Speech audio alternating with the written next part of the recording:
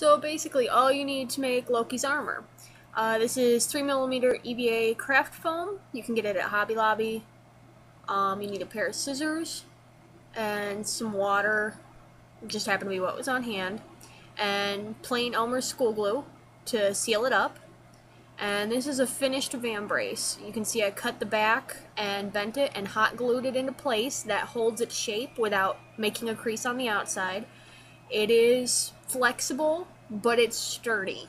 Um, it, it won't hold up to, say, a fight with Thor and getting bashed in the side with a hammer, but for cosplay, for photo shoots, and, you know, just um, a couple hours on the, the floor, you'd have to have somebody come up and actually squish at it to realize that it was foam.